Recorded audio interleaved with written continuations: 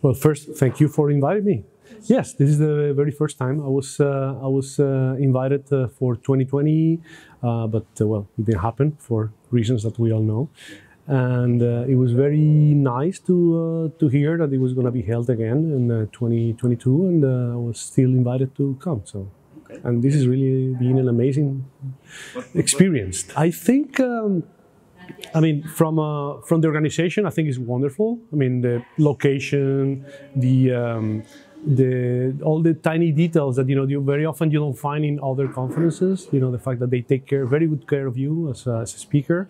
But then, uh, as a as a technical event, I think the, the talks are really really high level.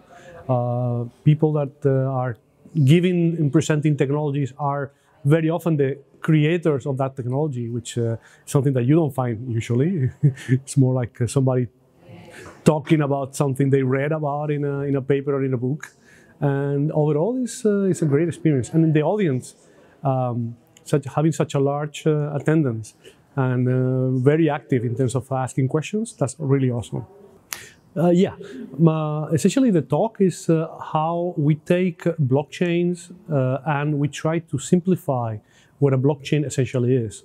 So we define what is the data structure that is behind a blockchain and what is the API and the service that that data structure should uh, provide.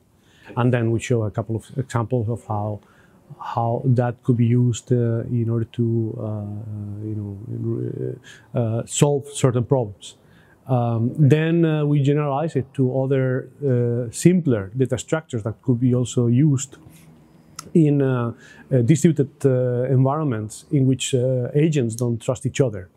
You know, and then how this is probably a tool that many distributed computing programmers want to have in their toolbox.